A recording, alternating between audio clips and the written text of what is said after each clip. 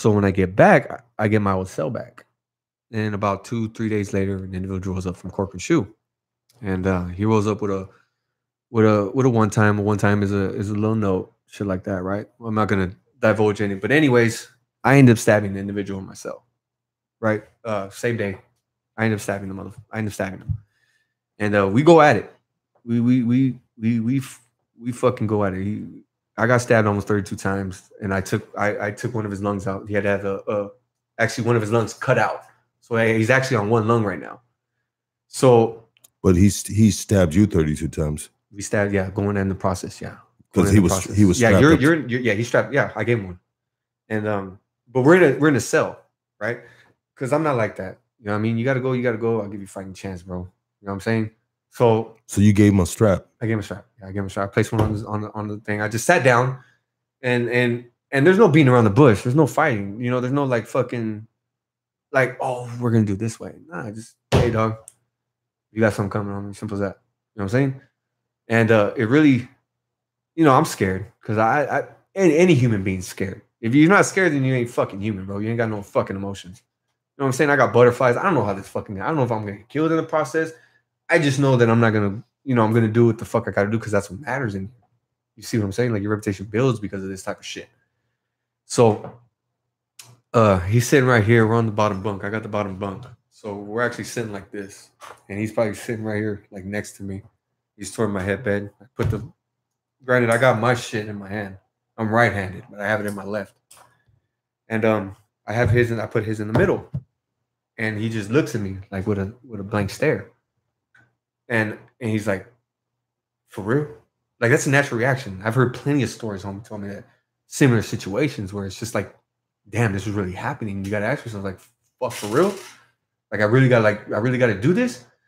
And uh when he after he said for real, like I just I, I maybe it was like peripheral or just some type of instinct. I felt like he was gonna go for the knife. So when he went for the knife, I grabbed him by his shoulder and I just I chugged it in like I slammed it as hard as I could with my left hand into him.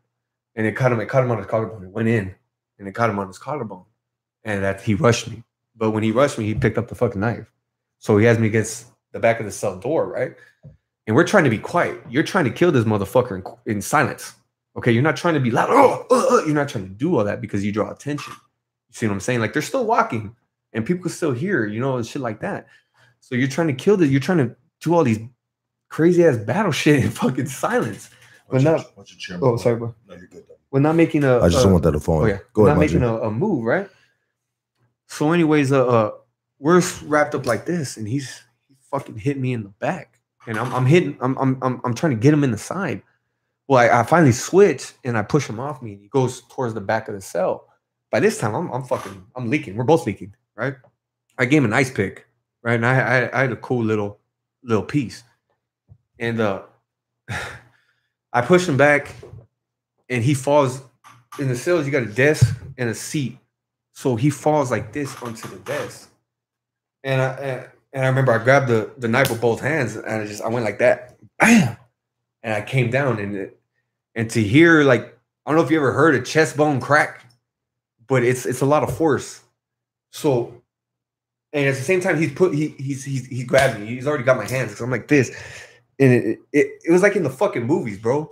Like in the fucking you're like this, you're like, and I'm trying to fucking push, and I can I, I feel it, but it, it's a rudimentary knife. You guys got to understand. This ain't like a fucking knife at a kitchen. We're just gonna go in. Like more often than not, an inmate won't die from a, a prison assault with a knife, and this is very well made. Like this is a manufactured weapon. So I'm pushing, and I could I could hear it, and finally when I know when I hit I know when I hit the bone because he's he he fucking screamed like a bloody murder scream, like like it was just the worst, and it kind of caught me up. It kind of caught me, and I was like, "Fuck!" But to say he's catching because it's all I think he's in shock, and I'm going I'm, I'm going down like that, and finally I, I it just it was like butter, all the way just in, and that food just passed out like that. I'm like, "Fuck!" And I get up right at this time, the the fucking the COs are walking. They're doing they're doing fucking count time. We've been going at it probably for about almost I say 15, 16 minutes. And if you're going into it in a closed space in a cell, that's a long fucking time of just Yeah. like wrestling, trying to get the fucking knife, trying not to get stabbed, all that shit, right? So when I do this, this dude's laid out, right? And I I pull the knife out. He's fucking giant hole in his chest. Can this story get you? No, no, because it's already documented. I got 115 for it, all that shit. Okay. Yeah, so that's the only reason why I'm telling you. I've always been told only tell the stories that come out on 115s. Yeah. So you got you they could actually go. Like if anybody wants to research it, they could go on CDC. If they could get my file, they could see the motherfucking story. You know what I'm saying? Yeah. I mean, you're telling the story, my boy, and I'm just like, Yeah. I'm like, I don't want you to. I mean, No, no, it's good. It's good. it's So- already, it's already documented. Yeah, I it's mean, already documented. So something- 115. I got a one disciplinary report for it. Yeah. So, anyways, we go to the back. I get out. Um, we get out. I go to the hospital, right? Because he passed my lung. Oh no, trip, trip, trip, trip, trip. So I'm thinking, I'm thinking this was laid out, right? So the cops come, they get me. Well, this was not unconscious, right? Or or he just miraculously wakes up and he gets a fucking. I'm getting handcuffed, right? I, I think this was this was like I think he's gone, right? I'm fucking sweating bullets. I'm like, fuck. I'm about to face live, like trial, all this shit, right? So there's a fucking I don't know where it was, but I'm gonna say it was probably on the locker. There was a fucking big pin, right? And I got the scar to prove it right here. I'm getting handcuffed, and the the the, the, the fucking hooter's like, "Don't fucking move." So he has my handcuffs. Well, this motherfucker jumps up, and he lunges at me with this big pen. And I bullshit you not, it hit me right here, and it went in like probably a half an inch, right on on the lower chest bone, and it stuck, and it filled up with blood. It was it was like so fucking crazy that the the plastic clear tube immediately just shot up with blood like it was, like it was a syringe. And I'm just standing there like, what the fuck?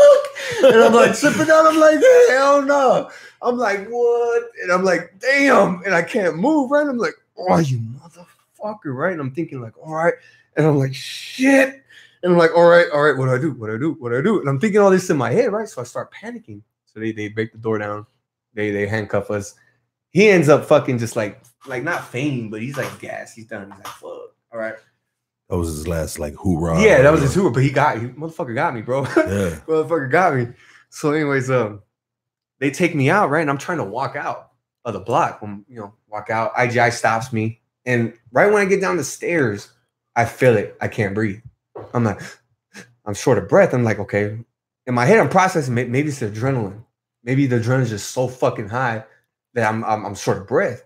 I'm like, I can't breathe. And, and the nurse is like, you all right? I'm like, yeah, I'm cool, man. I'm just overexcited. And, and the more I'm walking, the more I feel myself getting weaker. And I'm like, fuck, fuck. So when I get to the fucking outside of the block, IGI is right there. They're like, oh, this motherfucker, right? And he kicks me, right? He kicks me in my fucking leg, right? And I, I, go against the thing, and I'm like, you know what? I tell her I can't breathe. I can't breathe, right? So she's like, what do you mean? And and they lift up my shirt, and sure enough, I got a I got an air pocket. He hit my lung Yeah. right? So they're like, "Oh my god!" Right? So they call for for the fucking thing. Well, they called the, the helicopter for this dude because this dude, granted, I'm taking it and taking out. This dude's still in the cell. They're working on this motherfucker. They got they got the EMTs, uh, the the the fucking uh, uh the goddamn ambulance drove up onto the yard, all this shit, right? So I get to the thing. They take me to the hospital. I got a punk lung, right? They they cut me open. They they shove a fucking big ass tube in there with a little thing to suck out all the blood. This dude is probably two hospital rooms down from me.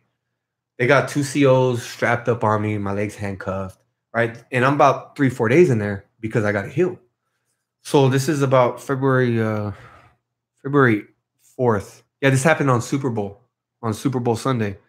So I'm in the hospital. So about February 8th, I go to the hole. They give me my um uh, lockup order, attempted murder on an inmate, and then they also give me a validation packet, right? So IGI comes and serves me with a with an associate uh, validation packet for for a prison gang. So I'm like, all right.